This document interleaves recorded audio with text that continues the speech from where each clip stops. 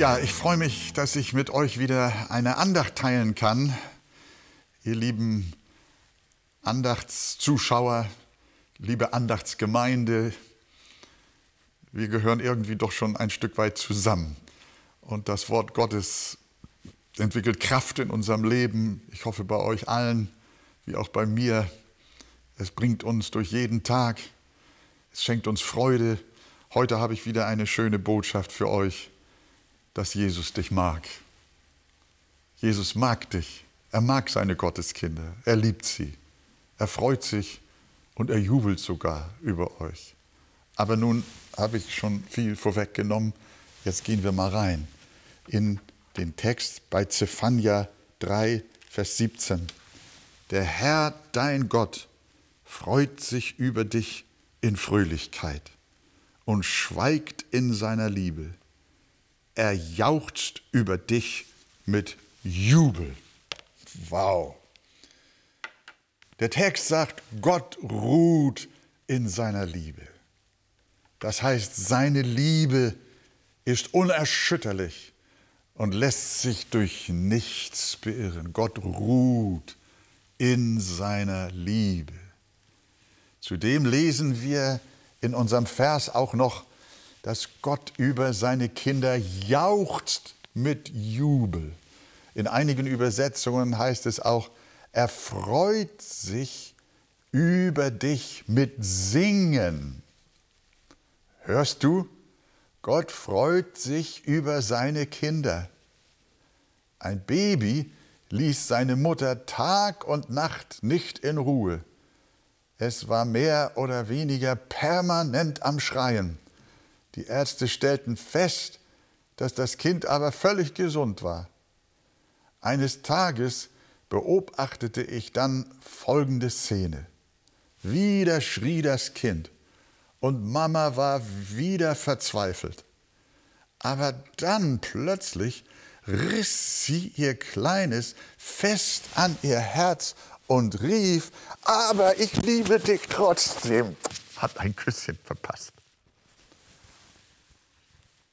Und dann knuddelte sie es und freute sich jubelnd über ihr Baby.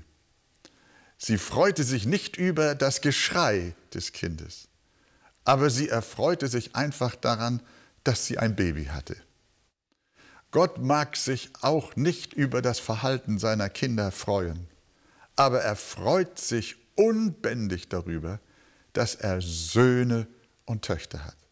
Er hat nämlich gesagt, so wird Freude im Himmel sein über einen Sünder, der Buße tut. Ebenso wie seine Liebe ist auch Gottes Freude über seine Kinder nicht an ihr Benehmen gebunden, sondern an die wirksame Erlösung, die Jesus für die Seinen am Kreuz erworben hat. Er freut sich einfach über den Lohn seiner Schmerzen. Er freut sich in Fröhlichkeit und jauchzt mit Jubel. Mehr noch, er freut sich mit Singen. Man höre und staune, Gott singt. Vater, Sohn und Heiliger Geist singen. Es gibt einen Jubelgesang Gottes im Himmel über seine Erlösten. Als der Herr die Schöpfung ins Leben rief, da hat er nicht gesungen, sondern da sprach er nur. Als er die Herrlichkeit der Berge und Meere erschuf, hatte Gott nur Worte. Aber als er für sein Volk die Erlösung erwarb, da freute er sich mit Singen. Da jauchzte und jubelte er, ja, wir haben einen fröhlichen Gott.